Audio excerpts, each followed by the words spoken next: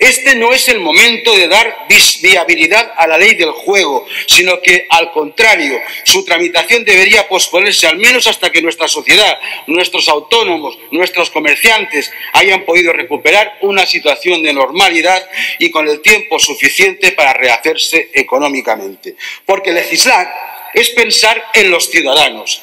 Legislar es responder a la demanda social, Legislar es dar cobertura a las necesidades de los valencianos y no imponer a macha y martillo unas normas inoportunas por el simple hecho de favorecer ideologías sin pensar en aquellos para los que legislamos.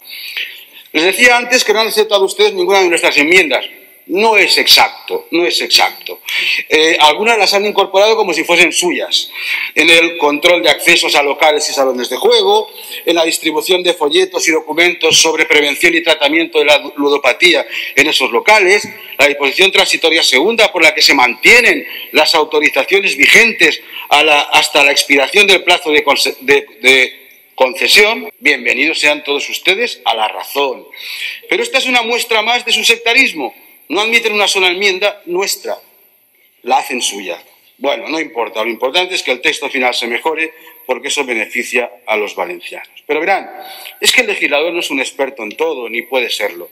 Por eso ha de contar no solo con dictámenes jurídicos sobre la corrección y procedencia de una norma, como así se emitió el dictamen eh, por el Consejo Jurídico Consultivo, sino que también ha de contar con los expertos a pie de calle, a los que conocen bien los pros y contras, a los afectados por este asunto en cuestión. Y los expertos están todos de acuerdo en la improcedencia de tratar en estos momentos este proyecto de ley.